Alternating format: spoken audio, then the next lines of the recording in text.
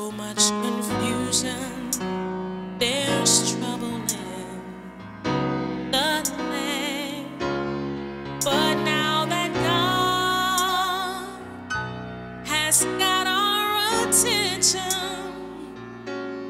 we need to pray.